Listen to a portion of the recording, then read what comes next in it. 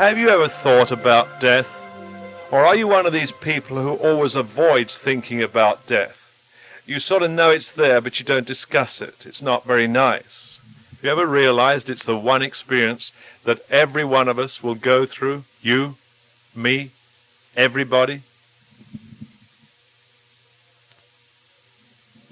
Good morning. I want to share with you this morning something that some of you may consider a rather strange subject. The title is The Death of a Christian Believer. Oh, you say, Richard, I really don't talk about death. Well, I don't all the time. But it so happens a few weeks ago, one of the men who was a trustee when we began Jesus Focus Ministry died rather suddenly. And two weeks later, we had a memorial service in our Friday night service. And I want to share with you some of the thoughts I shared with our friends that night. I think it's very vital that we as Christians understand our place in death. You know what happens. The world tries to avoid death, which you can't. And when death comes, the world tries to dress it up. That's why we have viewings. Also, it makes a lot of money for certain people, but that's a side issue. But they dress up a body that's not even there. The person has already left. And so we view a body. I cannot believe why. If you stop and think about it, why would you look at something that's empty? It's an empty tent. The real person has already gone on.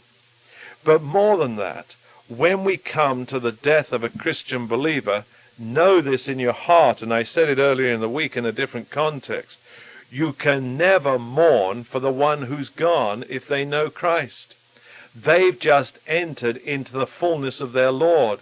They've just received everything that was theirs. All the joy and the love and the peace that they knew here on earth has now become perfect for them. They have a completed life in Christ. They couldn't be better off. The sorrow, the hurt, the loss is for those who are left behind, and it is natural and right for a grieving there. And if we don't, emotionally, we can be upset. But what I want you to notice is the tremendous life and resurrection and joy that there is in the death of a believer. First of all, there, the Lord Jesus has made preparation for us. Listen to what he says in John 14 and verse 2. He's speaking to, to the disciples, and he says to them, I am going there to prepare a place for you. I'm going there to prepare a place for you. A lot of us get hung up right away. What sort of place will he prepare? Who cares? If we're going to be there, why worry as to what it's going to be like? You're going to be with Jesus. Also, he says in a different way that he'll prepare us before we get there. We find this in John 14 and verse 16 when Jesus talks about the Holy Spirit he says, If you love me, you will obey my commands. And then I will ask the Father, and he will give you another comforter, a parakletos, to be with you forever. Jesus says, the Father will give you another one just like me. Now let me ask you something. Do you really know the work of the Holy Spirit in your life? Is he there to produce his fruit? Is he in control of your life? As you drive into work this morning as a Christian, is it the Holy Spirit directing you? Is it the Holy Spirit guiding you today? Are you going to do it or is he going to do it through you? That's a total difference. It was some weeks ago. I was driving to our Monday afternoon Bible study and I was so tired. And it was only noon, about one o'clock. I said, Lord, this is crazy. I'm so tired. I'm too tired to go. I said, I'm going to go into that Bible study and I'll be there, but you're going to do it. And you're going to do it by your Holy Spirit who's within me. Shall I tell you a secret? That was the best Monday afternoon Bible study we had had for weeks. I said, Lord, I like it. I'm going to do this every time. Whenever I do anything for you, Lord, I'm going to go and you're going to do it. What a difference. I feel the difference. I know the difference. The Holy Spirit takes over. Do you know abundant life? Jesus says, I have come that you might have life and have it more abundantly. Is your life full? Is your life satisfying? Is your life complete in Jesus Christ as you go to work on this Friday? Is it really? That's what Jesus wants. Not that you're going to have abundant life when you die. Yes, you will. But what about now? He's preparing you for that. Are you allowing him to have you conformed into the image of Jesus Christ? You see, a lot of evangelical Christians who really think we've been saved so that our sins could be washed away. Oh no, that's only the start. It's great that our sins have gone. It is fantastic that we've been forgiven. I couldn't agree with you more, but that's only the beginning. You have been saved so that you can be conformed to the likeness of Jesus Christ so that people in your home and people at work and people around you can see what Jesus is like.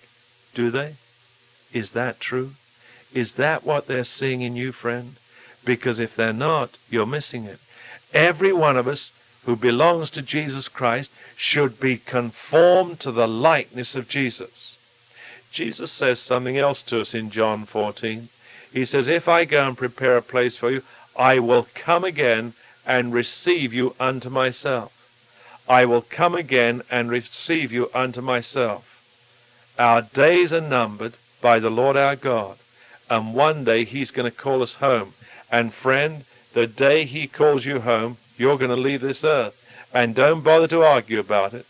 Your days are numbered by the Lord. And when you come to death, and this to me is the fantastic fact, when we come to death as a Christian, the Lord Jesus Christ, who dwells within us by his Holy Spirit, takes us to the point of death. He goes through death with us, and he meets us on the other side in the place he's prepared for us. Now think about what I've just said. If you live very closely with someone, if you're very close to your husband or wife, you've spent all your lives together, friend, know this. When you come to death, you are totally on your own.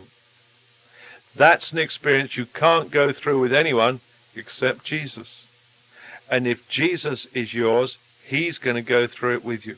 That to me is fabulous. You do not need to fear death as a Christian because Jesus will be there Jesus will go through it. Yea, though I walk through the valley of the shadow of death, I will fear no evil, for thou art with me. David said it before Jesus came. He had a faith in God that was beautiful. But for those of us who know Christ, we have the Holy Spirit within us. And friend, we are going to go through this with him. You will not be alone. But if you're without Christ, friend, you haven't got a hope in the world.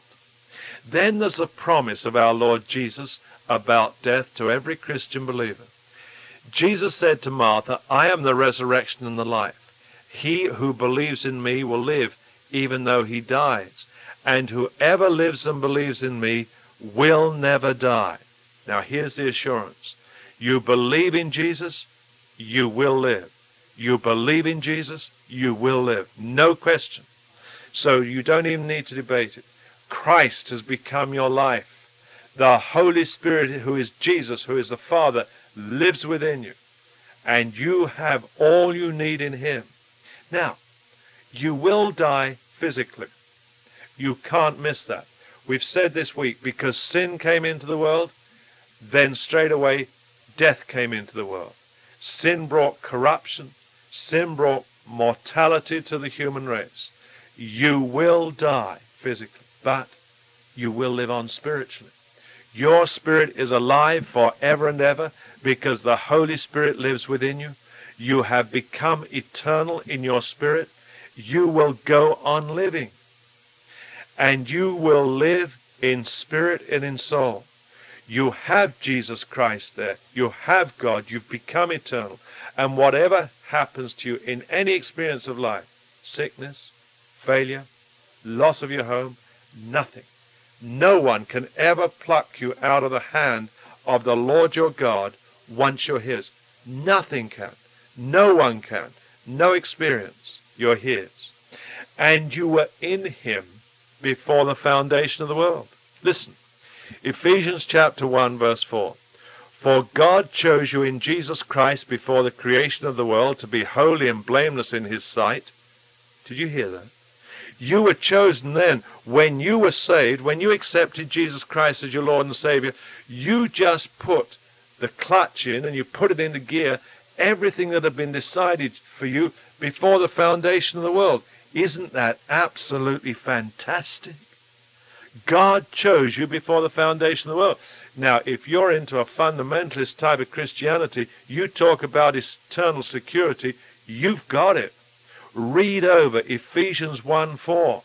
You've had it since the foundation of the world. Once Christ became your Savior, all that went into action. One other thing. The purpose of our Lord in having us in heaven. Have you thought of this? Why on earth does God want us in heaven? Why? Why does he want us there with him? First of all, we know it's not because any of us deserve it. Absolutely not. Nor can you say, well, I'm not worthy, because none of us are worthy. It is purely God's love, God's grace in Jesus Christ. We can love our Heavenly Father totally, completely, and in purity forever and ever.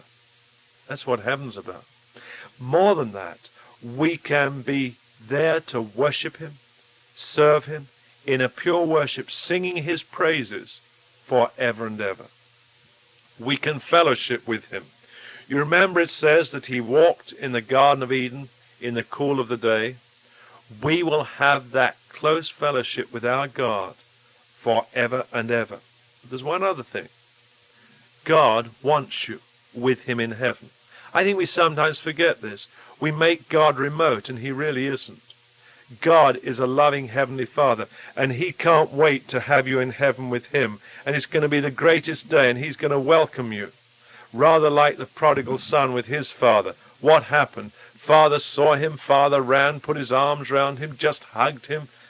That's what it's going to be like to return to our Heavenly Father. God wants us with him in his presence. And when I say that, he wants every human being. The snag is, not every human being wants to be with him. And they turn against him. And they do their own thing. And that's when we're into sin. Those of us who found him in and through Jesus Christ, he wants us with him forever and ever. You remember what Jesus said? He wants us to share his glory. He wants us to see his glory. It's all there in John chapter 17. He wants us to be with him forever and ever. That's what heaven is all about. The death of the Christian believer is great. In fact, the greatest thing you can do after accepting Jesus Christ as your Lord and Savior is to die. Now that sounds ridiculous. The world says, Richard, that's bonkers. I say, no, that's great. Because when that happens, I'm going to enter into the fullness of my Lord Jesus Christ. For the first time, I'm going to know him as he is. I'm going to be with my Heavenly Father. I'm going to be part of the family of God. Isn't that great?